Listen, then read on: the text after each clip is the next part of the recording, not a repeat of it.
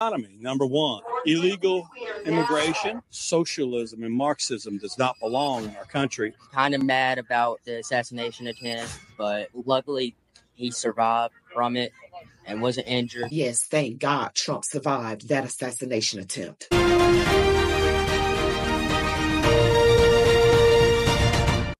Welcome back, Warriors. It's me, Linda B. Thank you all so much for joining me here today. Today, I have a guy, it's a black guy, walking through, you know, Trump supporters. He's just walking through, um, talking to Trump supporters, various backgrounds of people, and you'll be amazed at the things that they say. But before we get back into the video, don't forget to like, comment, share, subscribe, hit the notification bell. On my way to 50,000 subscribers. Thank you all so much for your support. Now, let's get into it. I just came to show some support for someone who I think that will lead us instead of being appointed for us. He's kind of our best option, I think. He's the best at executing. Biden and Harris, I mean, they, they don't, they can't do anything. I love Trump. I'm not going to sit here and lie. I love him. He's like my dad to me. I was thinking about my daddy, and uh, I always want to pray over my daddy and stuff. Uh, Jesus' name, like let's pray for Michael and his dad. I just want to uh, do better and get him another girl, do right, go to church and stuff, and make make our family happy and stuff. I just want my buddy right here to go viral. Is shout out to him. This shirt represents someone who took a bullet for democracy. His name is Donald J. Trump. Am I a Trump fanatic? No. I used to work for the Justice Department, and I know that if we don't show leadership, foreign countries are going to laugh at us.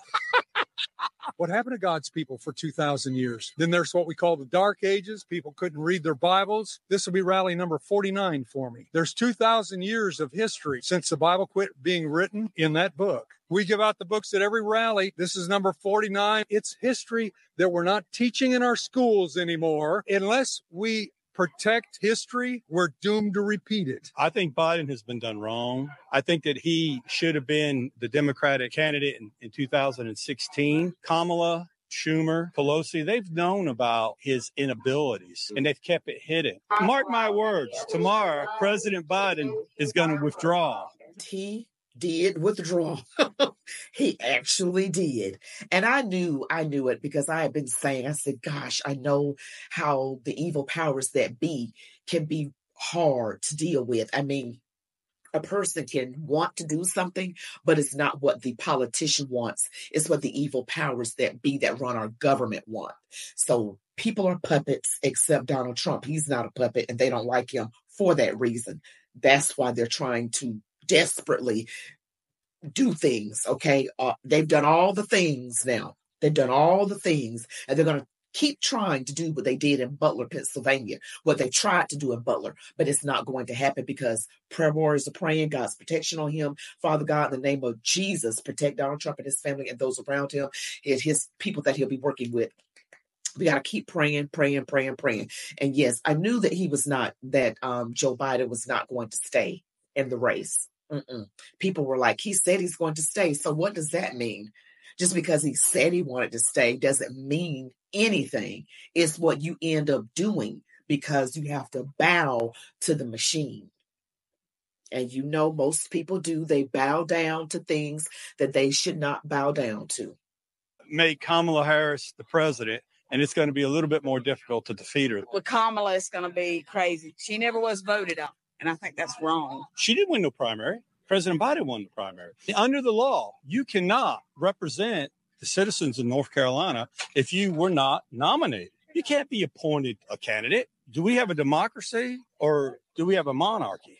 Today, I called the Secretary of State of North Carolina, Miss Marshall, Josh Stein, all the people I called. None of them could tell me how they could do that legally. And that's the Board of Elections for North Carolina. I called them all this morning. The Secretary of State, I called her office. Oh, that one was really unique. I spoke to a receptionist that gave me a false phone number. Uh, we're a little disappointed because we didn't get in. I mean, it sucks. We waited here for a couple hours. I thought we got tickets. We were getting in. I heard people here like at 6 a.m. We can't even get in the door. We ordered our tickets days ago. We sat in line for three hours because we didn't know this is all my son wanted to do today was come into this rally. I just really wish we got in, but I'm glad we made it this far. We do you think's next for, for Trump? I think he's got this. Just got to keep fake news from telling lies What would you say is the biggest like lie told by fake news like now? about the border. And the economy. The economy, number one. Illegal immigration, socialism, and Marxism does not belong in our country. Kind of mad about the assassination attempt, but luckily he survived from it and wasn't injured. And there's a lot going on in this world that's bad. Mom, you look a little teary eyed over there. A very important man lost his life that day, and we almost lost Donald Trump's life. You know, we lost a fireman, a dad, you know, a husband. I mean, he was a very good Christian man that served his community, that served our country. Everybody can't run out and have abortions. We're going to build that wall. We're going to protect our babies. We're going to keep kids in school, get more people off the streets. This man has a second chance in life. And God protected us all that day, not just him, but he protected us all that day. How do you feel about Kamala Harris, like potentially being the next coming up runner for the Democrats? I've been asked that quite a bit. Like someone wants me to bad mouth her. I'm not gonna bad mouth. People are trying to, like trying to call her a whore. I don't like her. I never really did. But She still has the same blood as us. the first thing when I turned my TV on this morning, she said that she's going to allow these girls to not be controlled by the government to have these abortions. You are crazy. It's murder. It's murder. She's evil. Like as I was walking in here, they was like, "Well, it's full." You know, people were leaving. But uh, so these three guys are like, "Yeah, it's full." But um, Yeah, so people are, this man is getting a lot of good interviews, people giving their good opinions and everything like that. And I was like, you know, Kamala Harris is just for a lot of things that I'm not for. I vote my values, and she is like really far left. And these people here look like good, wholesome people. They look like the kind of people that you could just trust, you know. And I just really like them. They seem just authentic. You know what I mean? and not phony, not fake. They're they're not pretentious in any way. They're just hardworking American people that want to stand up for what's right. And the lady with the blonde hair, she was like, "We lost someone that day, Corey Comperatore, and I, I'm going to keep mentioning his name because it deserves to be remembered. He was a God fearing man. He was a husband, a father, a girl dad, two daughters, and he served as a fire chief and fought for his country." So with all of that, he was a regular church goer. So he seemed to be an outstanding member of society and is so, and how he died. He died protecting his family. He died in an act of love and gave up his own life to protect the lives of his family members. Now that is going to go well with God when he stands before the Lord. So although he died what we would call tragically, he's doing better than we are right now. We got to deal with this foolishness and people in the world acting crazy and turning on the TV and they steadily lying to you. And then they want us to be in a communist country. He's in the arms of Jesus right now. Yes, that's true. He's in the arms of Jesus. I believe it, and I didn't even know the man. Let's get back to the video. third, Black American women for Trump, right? It was just about justice and actually knowing policy and um, not bad mouthing either party. Yeah. There's great controversy going on. It's between Christ and Satan. We're down here as pawns in that the fight is between the law in God's government and Lucifer, who wanted to defy that law. In our government right now, we have laws. And in our government right now, people are defying that law. When we lose that sanctity of our laws, then we lose our government. We lose our whole system of society. Battle isn't between politics. It's from up above. Lucifer and, and Jesus himself, entities outside of our earth here. Why do you choose the Trump rallies to come spread, spread your message? Uh, if there was another place that was had large gatherings, we'd go to it. But at a Trump rally, you saw what happened today over here. I have no idea how many people came, and that's the way it is at every rally. I just finished going up to Grand Rapids, Benton, Pennsylvania, Doral in Florida. He flies around on an airplane, but uh, we drive, Drive around. in in this truck with this trailer over here, and that's it. So, what do y'all think is like the significance of Trump getting uh, attempted assassination, like just a few days ago? No comment on that. Divine intervention. Who's playing the cards? We don't know. I got a YouTube channel. My name is Little Mike, and I'm a rapper. Your candidate. Why not? You can point anybody. Point me your candidate. Why not? You can point anybody. Why not me? I was in the army. I used to work for the Justice Department. I've never had a parking ticket. All right, so Trump rally's now over. It seemed like something happened. I heard it earlier that there was a lot of people getting their cars towed because they're parking in these parking lots, like right here, Dunkin'.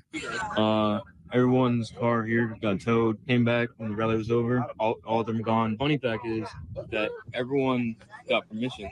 Even the manager was accepting tips. Apparently, Apparently, uh, the cops directing some people to park here too. This other guy is saying that towing company right there is a fake towing company. One guy just went to go get his truck right now. Not even like a building, it's a It's house. house. And they said only cash, no Venmo, and like every 30 minutes the price goes up. What's everybody doing right now? Like, are you working on trying to get your card? people, Waiting on the police. yeah, Okay. someone is on the phone with an attorney. We asked them, we pulled in here because the police that told us Dunkin' was letting people park here. So we pulled in, there was no signs or anything. So I pulled in, went inside the store and asked the store manager, it's like, hey, is it cool if we park here? He's like, absolutely, man. I was like, well, I feel really bad. I'm not buying anything or doing anything. So let me give you some money to park here. I'm not going to get towed. Nope, cool. 100 bucks. Okay, dude, 100 bucks, walked out. Everybody here's done the same thing. We get back and all our cars are gone. And that towing sign was not there. and Now it's put in. The towing sign was not there. Everybody's been told the same thing by the store manager. The only way they're releasing cards is cash, even though These people had their cars stolen. They were told by the manager of the store, I believe at Dunkin' Donuts, that it was okay for them to park there. You know, even though they're not buying anything, can we park here? And then they get back. They even gave money because they felt bad for taking up spaces and not purchasing anything. Then they get back and their cars are gone. That's crazy. So you go to a Trump rally. Um, get there extremely early, like five, six o'clock in the morning. I, I mean, let's say it starts at 5 p.m. You need to be there 12 hours before it starts. I'm, I'm just saying, have your ticket where you can easily get to it. Don't lose it and get there 12 hours early at least. Some people camp out. That is just how serious it is. You can't show up 30 minutes before time thinking you're going to get in. That's crazy. You can't do that.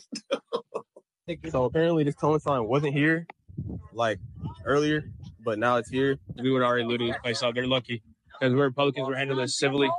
News reports, police reports. You know, we're doing this right. You know, they took our tips, pocketed our money, and they were like, "F them." Yeah, bro. I mean, look at this tape, man. Look at this tape.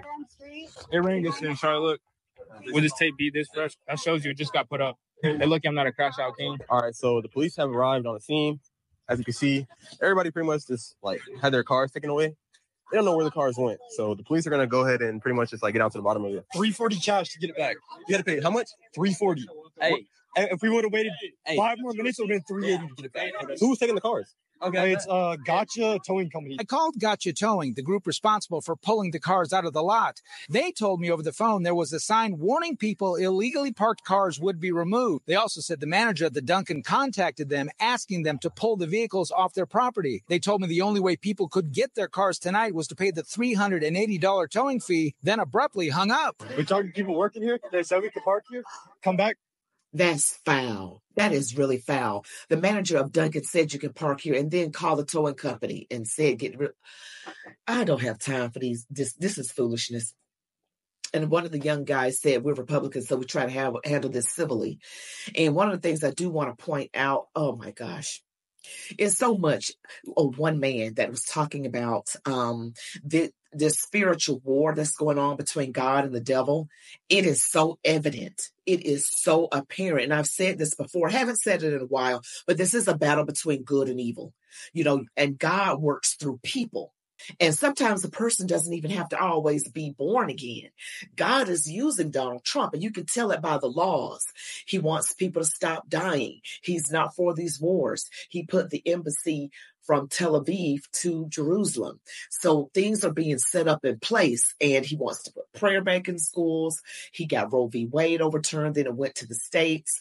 Um, he is for just trying to make a lot of things that were done wrong right.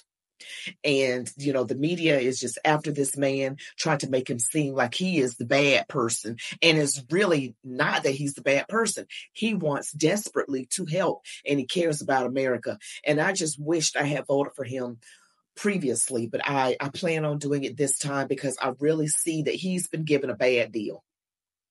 He's got a history of helping black people get money for their, you know, to open up businesses so that they can be successful, you know, financing Jesse Jackson's campaigns for president and back in the 80s. I mean, just so many things, so many things. But yet, I guess those mean tweets mean more than anything. And when he said something against the Central Park Five, that's the only thing that people can cling to. That's it. They say his race is based on that. And I'm I'm so tired of people, and it's not all people, just some people, that if a white person says something against a black person, they automatically think it's because that person must be racist. No, it's because they have an issue with this particular thing that you're doing, and it has nothing to do with your race. But clefty lefties think that way. And if you say something against a black woman or something like that, and they're like, you're racist. No, he didn't call her the N word. It's not, that's not racist. It's not necessarily. No, Nope, it's not. So we got to stop thinking that way. But this young man did a great job of going through getting people's points, you know, and just talking to the different people. There was the Black Lady, Black uh, American Women for Trump. I love the t-shirts. They were amazing, weren't they? I'm going to try and get some merch that you can purchase from my own store, the Linda B store.